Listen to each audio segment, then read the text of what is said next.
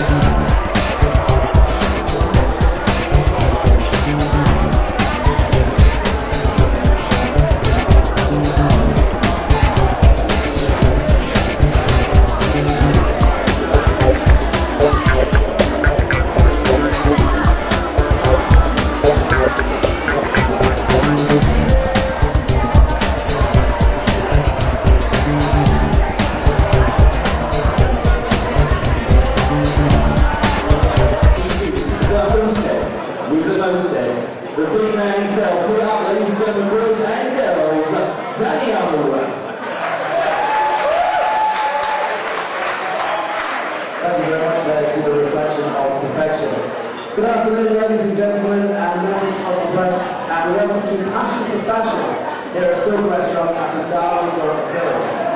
Thanks, Daniel. So good to see you this afternoon. Welcome to the uh, smart, fashionable. Uh, good afternoon, ladies and gentlemen. Welcome to Andara. My name's Andrew. I'm the General Manager here at Andara uh, Resort Villas. It's so good to see so many people here this afternoon. I think the whole Phuket has turned out. It's certainly one of those events that uh, has certainly got the buzz around Phuket. I was uh, out last night, everybody's telling me your comments. It's, it's uh, a great thing to be here this afternoon. I'd like to echo your uh, comments, thank the sponsors, of course, very important. Thank all for the fight for being here this afternoon, one of their first uh, major live outside broadcasts. And of course you for being here as well. We do have a fun pack this afternoon, our first fashion show about to start. So please enjoy the afternoon and thank you for watching. Thank you.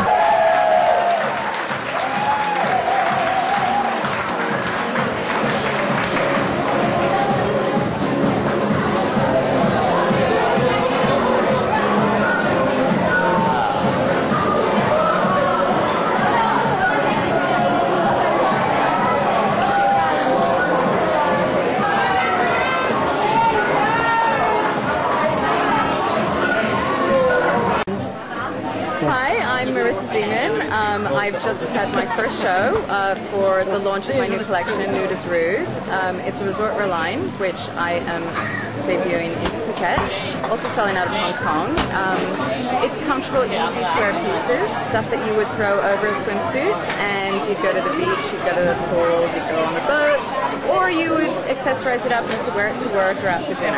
Um, it's a low price point, because I know everyone's very price conscious right now. And uh, I also wanted to do something where you would buy something, not not just when you're going on holiday, but you would buy it and you could wear it throughout the year. So um, you're really getting value for money. The pieces are made out of uh, this a material called Modal, which drapes very nicely. It's super, super, super comfortable. Um, so, Nude is Rude. Put some clothes on. well, what about this setting then as your father's hotel? Um, so we did, we did it at Andara because they wanted we want to do a push for Sundays at Andara, Sundays by the pool. It's a beautiful setting. Um, come down for the canapes, come down for cocktails. To make it a bit more of an interesting afternoon, uh, we wanted to do a little fashion show, so they asked me if I would do it. My new collection was coming out at the same time, so you know the timing really worked, and um, so I think we'll be doing a lot more of them. I, will come out with a few collections a year, and uh, the Sundays at Andara Pool are going to keep up. And what about the models? How do you think they performed? I think the models all did amazing. Everyone, um, actually, everyone donated their time because it's for a charity. So all the models were worked for free, and uh, I think that the differentiation between them was really good, and they all worked really well together. To be honest, everyone was really easy to work with. Everyone was a pleasure, and I think they did a fantastic job. I'm so proud, proud of them. How much do you know about the charity, and, and how much do you hope to help them? Um, is for children, which is wonderful, and I think it's really important to give back to the community, so to give back to Phuket, and uh, I think we, we actually sold out of tickets, so I think we did a really good job. I think there was over 200 tickets sold. Right. And your father and your mother obviously here. You're based out of Hong Kong, but how, how often do you come here? Um, I'm down here once a month at least, um, and always in high season. Um, and I'll be coming here a lot more. but is it? How, what do you think of the hotel and, and the villas here? Oh, the hotel is absolutely stunning. I think that um, they completed it to a beautifully high standard. Um, everyone that's come to stay here gives us great feedback. Um, it's, it's really wonderful. I, I can't believe that it's actually something that, that my family's done or my dad has done. It's great. So proud of. And people from Hong Kong, do they? Do you think they love to come here and and experience this sort of atmosphere and lifestyle here? I think definitely. I think for people in Hong Kong, it's really close. So you know, you hop on a direct flight. Three hours later, you're in a totally different setting, and uh, I think that people are becoming a lot more now as well because there are a lot more developments going up, and you know, it's it's it's just a relaxing little getaway for the weekend. It's wonderful. All right. Well, thanks for putting on the show and future future plans for for the fashion shows or for the your Definitely. designs um, here? I, I, see a lot more shows happening. Um, you know, I, I want to build the brand in Phuket a lot more and also in Hong Kong and then eventually take it global. You know, maybe take it to the States and Canada and, and hopefully Europe as well. Um, yeah, but I've, I've, got big dreams. I've, I've, I've, conquered the first show and so, you know, we'll see, we'll see where else we can go. Good baptism. Well done. Thank you, Thanks Marisa. A lot. Thank you. Cheers.